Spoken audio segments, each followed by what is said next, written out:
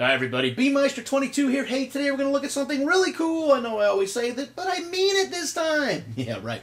Okay, this is fossilized dinosaur poop. That's right, it's dinosaur poop turned into a fossil. Some dinosaur was walking through the jungle or the desert or wherever they lived.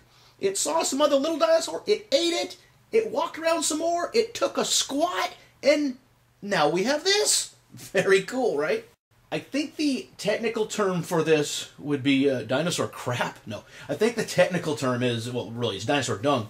But the the technical term is, I think it's called coprolite. I, am not probably not pronouncing that correctly.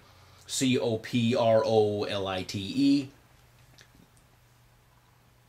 A long time ago, it was actually they used to mine this for the phosphorus, and they would use it as a fertilizer. But now it's just regular poop. So, you know, poop has been used to fertilizer, fertilize things as a fertilizer for a long time, even million year old poop. Now, this particular dinosaur that made this poop was from Utah in the Jurassic period, approximately 140 million years ago. Well, how do they know that? Well, they know the type of dinosaur or the area it was found in. Hey, this is where all the dinosaurs ate. These are the other dinosaurs they found there. You look through the fossil record, and so this dinosaur poop came from these dinosaurs here. So it's very cool. Dinosaur poop. When is the last time you went on YouTube and seen a 140 million year old piece of poop? Yeah, I know, right? Come to my channel. There's poop everywhere, right? Yeah. Or no, what was it they said? Oh, they said your videos are crap. Well, that's kind of like that, right? And now they are correct because we have dinosaur poop. And really, you know, all joking aside, this is it's 140 million years old. It's fossilized, so if you touch it, it doesn't smell like poop. If you licked it, it probably wouldn't taste like poop. I don't know what poop tastes like.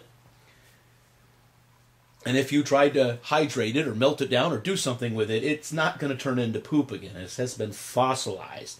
So this came out of the backside of a dinosaur. Remember that movie, uh, Land of the Lost with Will Ferrell? He also came out of the backside of a dinosaur. But I digress. All right, so have you ever thunk such a thing about this? Ever seen this? Ever thought about it? Ever ever knew something like this existed? Maybe you have. Maybe you collect it. Maybe you know more about it than I do. Wouldn't be hard, right?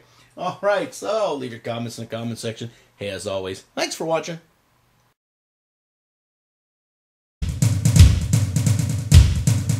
Beanmeister 22, the most dangerous man on YouTube.